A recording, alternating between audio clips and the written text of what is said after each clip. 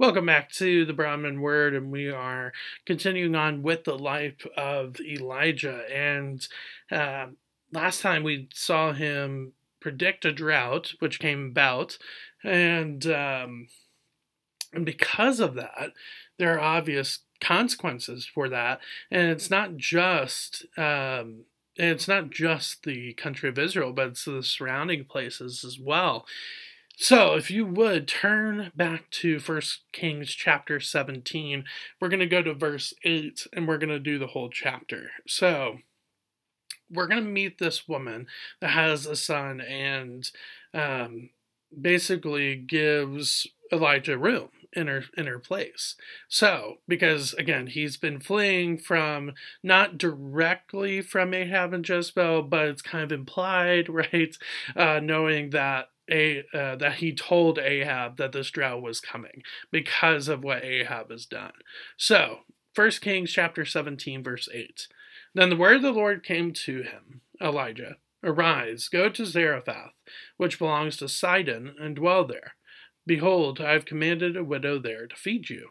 So he arose and went to Zarephath, and when he came to the gate of the city, behold, a widow was there gathering sticks. And he called to her and said, Bring me a little water in a vessel, that I may drink. So it's interesting, first off, I want to pause here. It's interesting, first off, to see where he is going, and that is to Sidon.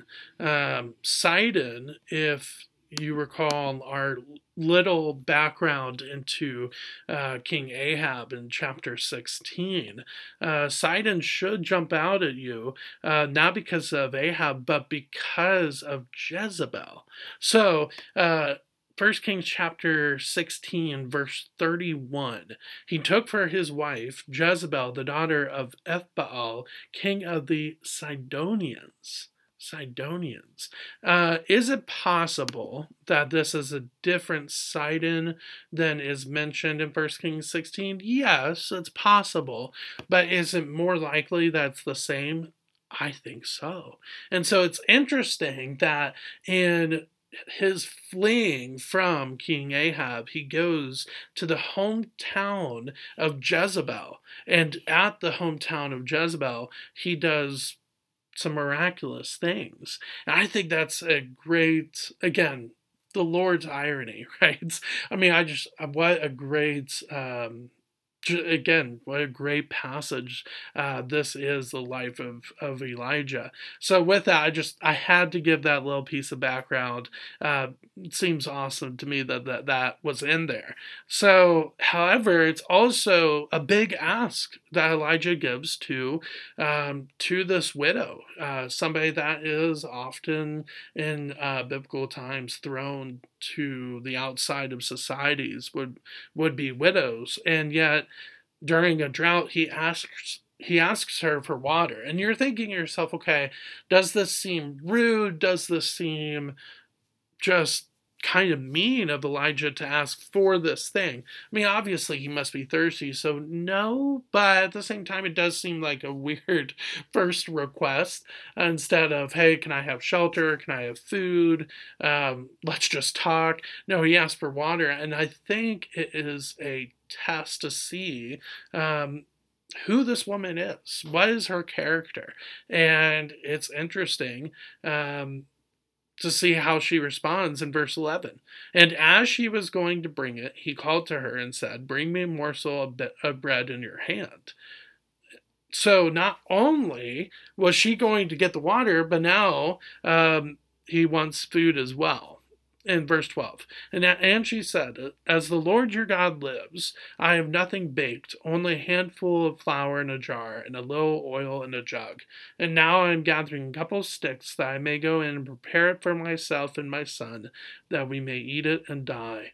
So it's just a very sad situation. And it's one that, if you're thinking to yourself, if I'm Elijah, and and I'm in his position. I'm hearing the sad story, knowing that this drought was in part because of my prediction. Obviously, was brought about by the Lord, right? But you probably feel a little sentimental, which that's the case with Elijah here, and uh, and in his response, verse thirteen. And Elijah said to her, "Do not fear. Go and do as you have said." But first make me a little cake of it, and bring it to me, and afterward make something for yourself and your son. For thus says the Lord, the God of Israel The jar of flour shall not be spent, and the jug of oil shall not be empty, until the day that the Lord sends rain upon the earth. And she went and did as Elijah said, and she and, her, and he and her household ate for many days. The jar of flour was not spent, neither did the jug of oil become empty, according to the word of the Lord that he spoke by Elijah wow wow wow. I mean it's it's so cool to see how the lord works. And so first off he sends elijah to the homeland of queen jezebel whose actions have caused a lot of the the pain that the lord is feeling right? And yet he sends his prophet to her hometown and in her hometown there is a widow and her son that are just pretty much days from death, and yet he works in this miraculous way. Uh, and Elijah, just the, just the, just the, the encouragement that he gives to her, not only with the promise of the flour not being spent, of the oil uh, not being spent. Um, yes, that's encouraging in itself, right? But it's this sort of like a command in verse 13 do not fear. Um, he, again it's not like oh don't be afraid you'll be fine get over it. No it's not that it's hey look it'll be okay so don't don't fear what's going to happen next because my God's going to take care of you. And that's what he does. And it's cool to see too that it's not just for the rest of the day, but it's throughout the whole entire drought or what's left of the drought period that he will take care of this widow. Um, and her son. However, that continues to go on, but even in a more miraculous way. So, verse 17 after this, the son of the woman, the mistress of the house, became ill, and his illness was so severe that there was no breath left in him. And now we're not given what illness this is. Um, we're not sure, but it's just an illness that there's no cure for. There, there's nothing that can be done. And so the widow says to Elijah, verse 18, What have you against me, O man of God? You have come to me to bring my son to remembrance or sorry, bring my sin to remembrance, and to cause the death of my son. And he said to her, Give me your son. And he took him from her arms and carried him up into the cha- into the upper chamber where he lodged and laid him on his own bed.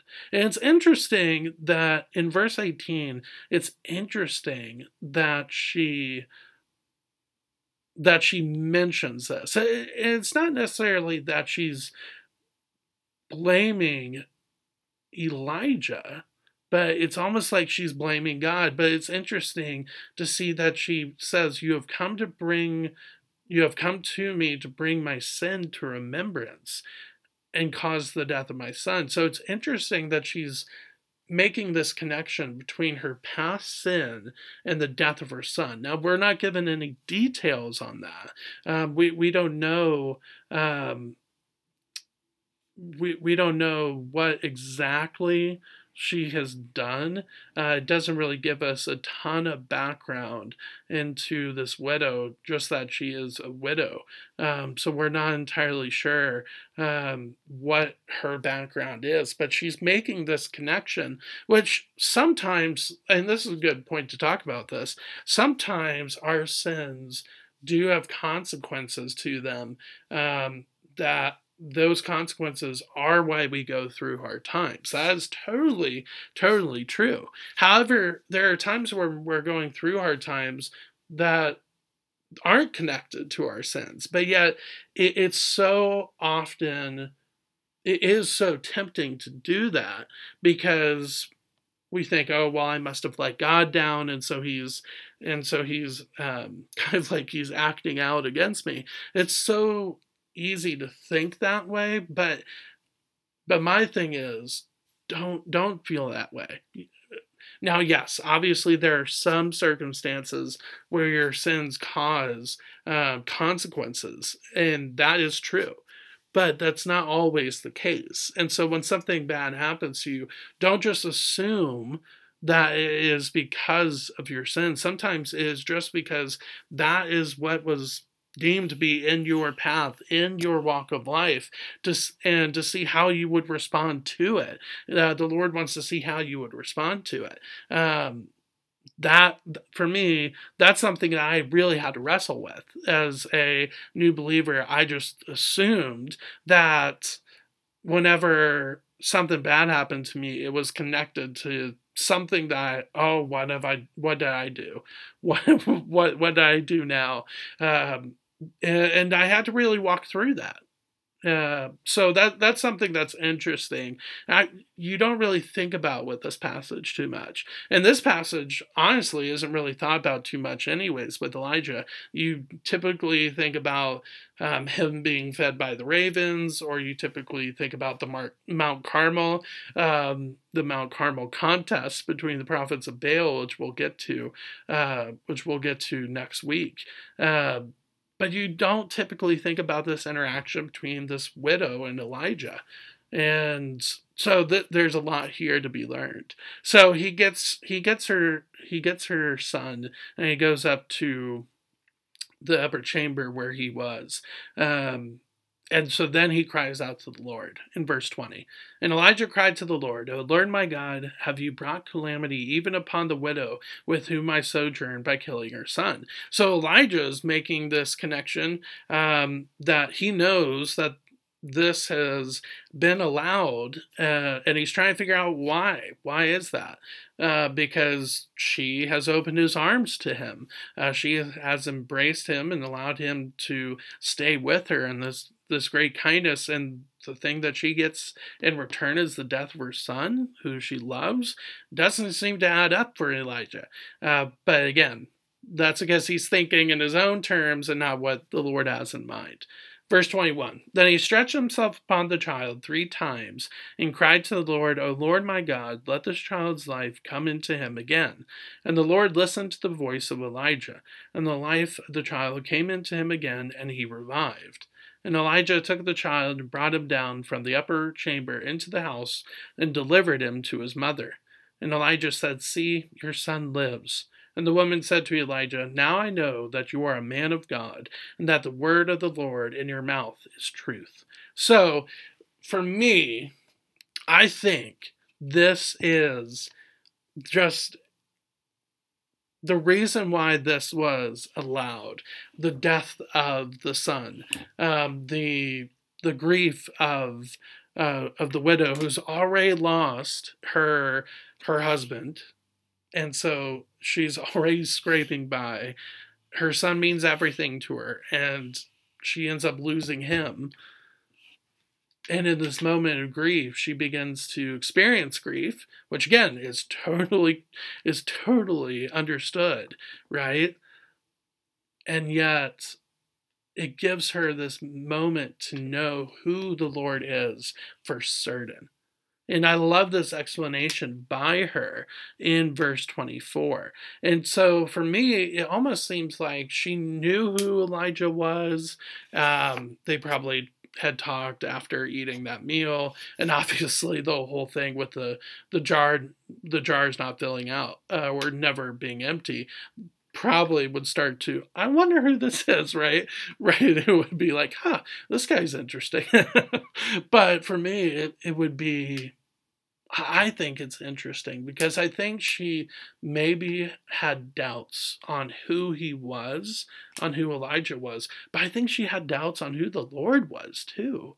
And yet, in this one moment where he not only fills up the jars, but now he brings, meaning the Lord, but now the but now the Lord brings her son back to life that's the thing that makes her go, "Oh my goodness, this this man is a man of God, uh, and being Elijah, and that the word of the Lord in your mouth is truth." So that to me is such a great statement. The word of the Lord when we as believers are proclaiming the gospel, the word of the Lord is truth, and we should always hang on that.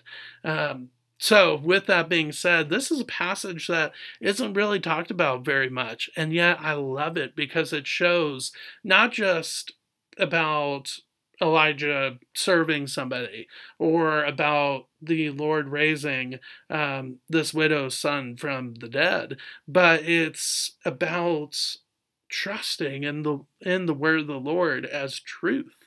That's what uh, the widow sees at the end of it all, which is so it's it's kind of interesting because in chapters 18 and 19, Elijah is about to go up against the prophets of Baal who don't believe that the word of the Lord is truth. And yet, because of that, because Elijah believes that is true, he faces victory in Mount Carmel in chapter 18, but then he faces doubt and he faces um, anxiety in chapter 19 when he is being basically pursued by Queen Jezebel and the soldiers um, to kill him, basically. And he basically has to get down to the boy is the word of the Lord truth? And it's interesting that it starts here with a widow.